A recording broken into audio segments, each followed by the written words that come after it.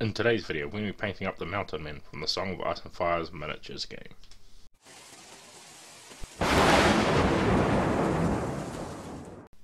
Okay, so the first thing you want to do after you've primed your miniature is we're going to come in with gunmetal. I'm going to be using gunmetal to paint up uh, all the chainmail on our Mountain Men here. So you can see he's just got a little chainmail skirt on, so we want to be painting that up with a gunmetal. And just to know, yes, this is the second video I've done of painting Mountains Men. Um, I wasn't originally going to do this video, but I felt like there was enough uh, variations from my first video to this video in the miniatures uh, themselves with a different enough paint job that I thought I better show off the other versions of these models, paint them up, and show you the differences uh, in the models while doing um, because you know as you can see here we've got another different model again from even the very first video I did. And for this one we want to paint up all the chainmail in here as well which is the uh, sorry about that uh, is the chainmail skirt. And also just on the back of the legs there there's also just a little bit of chainmail there. So you want to do that as well.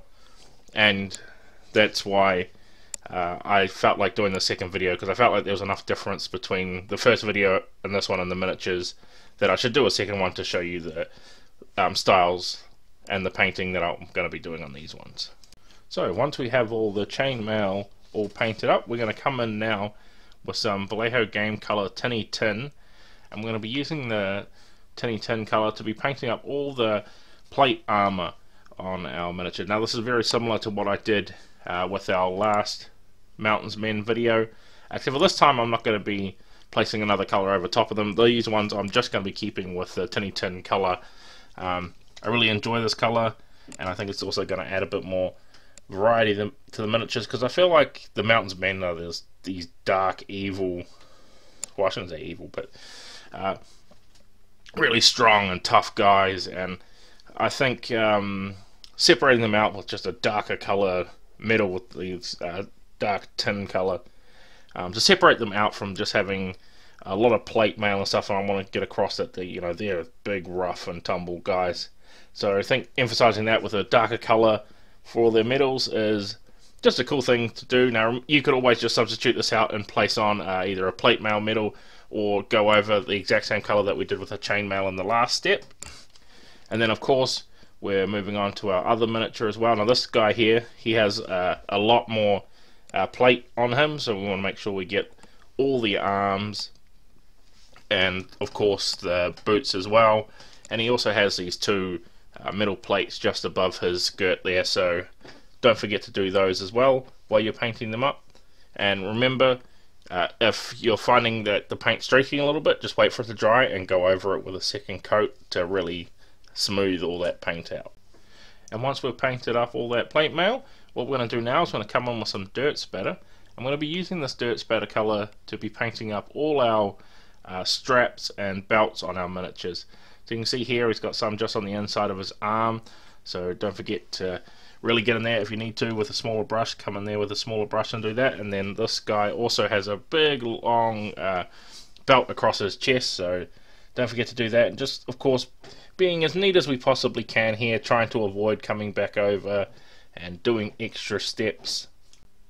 And also we want to make sure we come to our other miniature and we want to do the straps on there as well. So just remember uh, this one here can be a little bit tricky to get to so if you need to hold it at a at any funny angle you want to to just grab that uh, strap there. And or, since this guy also has a bunch of uh, bags on him, we're going to be painting one of these up in the dirt spatter color. Now I'm just going to be randomly painting up the different versions of those uh, bags on the different models but if you want to make them all the same then by all means go ahead and make them all the same color. And then after that we're just going to be hitting the bottom of our sword here just grabbing that as well. So once that's all done what we want to do now is we want to come in with monster brown. And we're going to be using the monster brown to be doing a lot of the uh, leather working that we have left on our miniatures. So with this guy here we want to be getting these little pieces uh, just underneath here like you can see in between all these areas. And we also want to be going uh, the leather on the arms and just really trying to get in there. Now if you need to you might want to come in with a finer brush to really get in these details and be quite small in the gaps and just trying to cover it over as much as we possibly can. And then of course going to our uh, other miniature here. We're just going to be doing the, the top bit that you can see me doing here because this big piece on the back we're going to be leaving that for another color and of course uh, since I'm using a different brown I'm also going to be painting up uh, part of the bag in a different color as well to vary up all those bags in different colors too.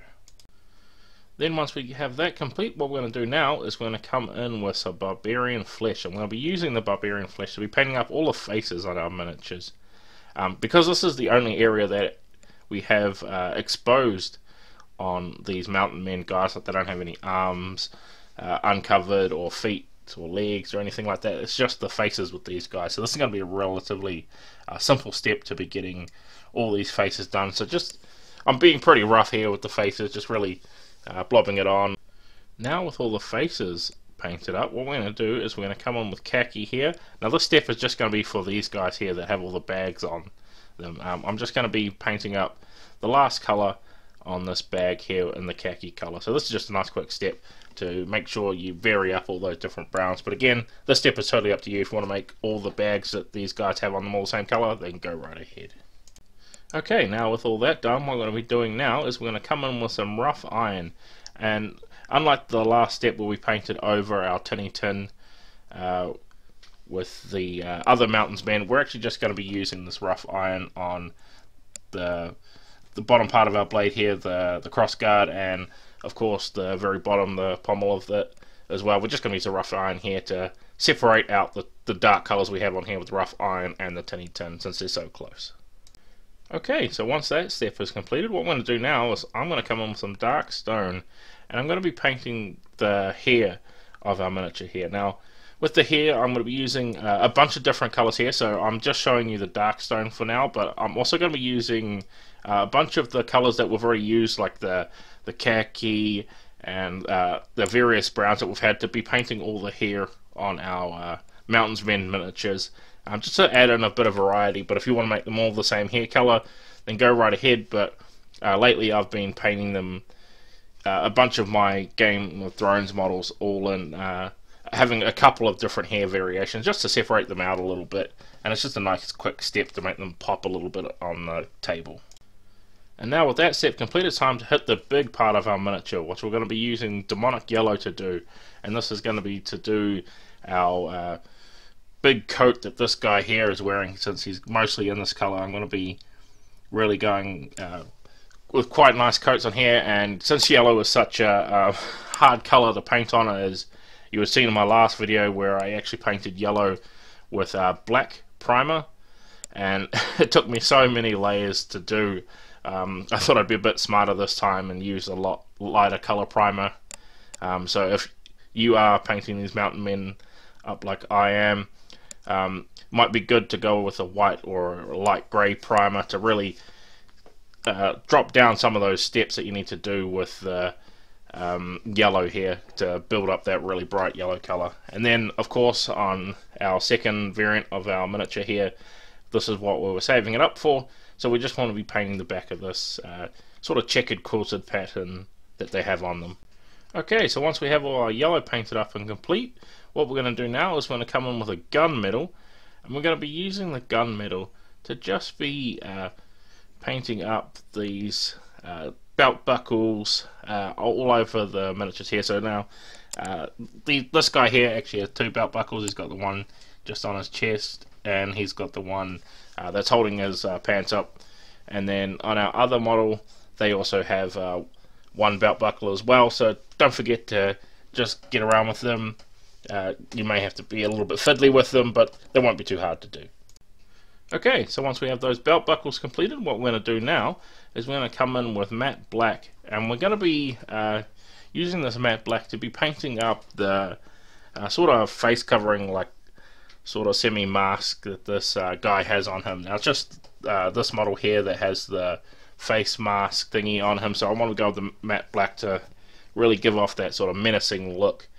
And I'm just coming in with a really fine brush here to get that, since it's such a small area and it, it's around a lot of detail, so I don't want to paint too much over uh, with the black because it's going to be quite hard to get those layers back so that's why I come in here with a smaller brush to get that detail and then of course like we've done with all our Game of Thrones models so far is we're going to paint the base with the matte black as well now that we have that done that's all our base layers completed so now it's time to come in with the washes starting off with flesh wash I'm going to be using this to be placing all over our barbarian flesh that we've painted on here, as well as the hair as well. I like to do the hair in a flesh wash.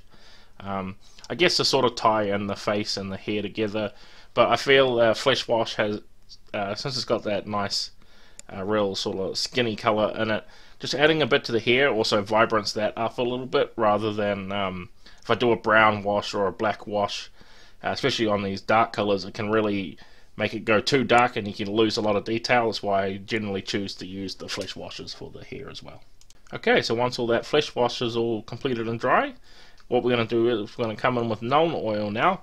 And my favorite thing to do with Nuln Oil is I love to put Nuln Oil all over anything that's metallic. So all over our metallics, but we've done our plate armor, our sword, uh, everything like that. Our boots and our chain skirt underneath, don't forget to do that as well. Um, go in with the Nuln oil and do all that. I just love the uh, color it brings out in metals with the Nuln oil. Uh, much more than most other washes from uh, different companies. I just just love that effect so much, and you, will find me I do it quite often on this channel, uh, using Nuln oil over metals, just because it gives off that cool effect that I like. So make sure you get all the metal pieces for that, and then of course, don't forget with our other model, since it's so much bigger and it's covered in so much more metal uh, to do that as well. Now, also don't forget to try and avoid all our yellow spots on that on there that we have in there because that Nuln oil will really darken all that yellow way way down so try and avoid that too okay now to move on to the next step once all that's dry is we're going to come in now with strong tone and we're going to be using the strong tone to be painting over all our yellow sections of our mountains men giving that a nice coat with that to really uh, dirty up all that um, nice bright yellow and to just tone it down a little bit because it could be a, can be a little bit bright. Now with me I'm going to be doing the exact same thing that I did in my uh, last Mountain Men's video which is I just kept it with the dark uh, wash over it, the strong tone wash over I should say because um, I really like the effect that um, the strong tone gives um, by making it look like these guys are being down in the mud really sort of getting up in the front lines and fighting. Uh, so that's why I don't uh, come back over with any highlights or anything. I think they go against the Mountain Men, um, even though they have this bright color. I don't think they're too pretty and fancy about trying to keep that yellow nice and um, pristine. So that's why I come in and just leave the wash on there just to give it that grimy look.